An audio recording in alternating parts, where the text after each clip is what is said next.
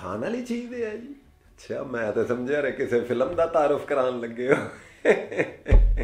ਕੀ surprise ਦਿੱਤਾ ਤੁਸੀਂ ਸਾਨੂੰ?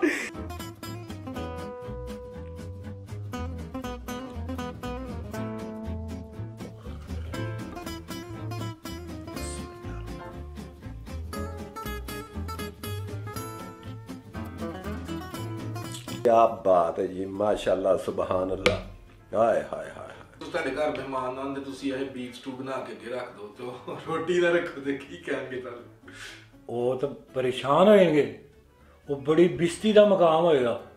ਉਹਨੇ ਕਹਿਣਾ ਪਤਾ ਨਹੀਂ ਇਹਨਾਂ ਦੇ ਘਰ ਜਾਂ ਆਟਾ ਨਹੀਂ ਹੈਗਾ ਤੇ ਜਾਂ ਇਹਨਾਂ ਕੋਲ ਪੈਸੇ ਨਹੀਂ ਗੇ ਰੋਟੀ ਮਕਾਨ ਦੇ।